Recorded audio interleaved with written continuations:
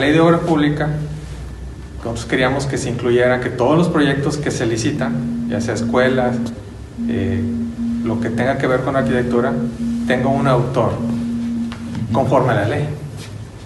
Y más allá, que, haya un proyecto ejecutivo completo antes de licitar.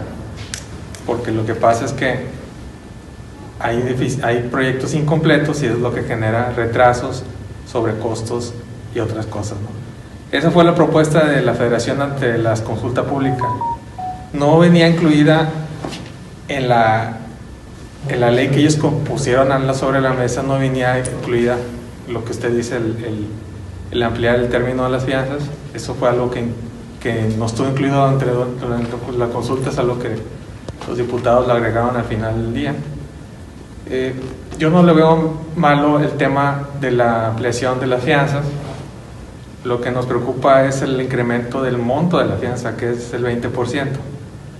El 20% lo que va a hacer es que va a dejar fuera a pymes, porque una obra de, de, una calle de un millón de pesos, la fianza pues es de 200 mil pesos. O sea, la empresa tiene que tener en activos esa cantidad para que la fianzadora pueda dar la cara por ti. ¿no?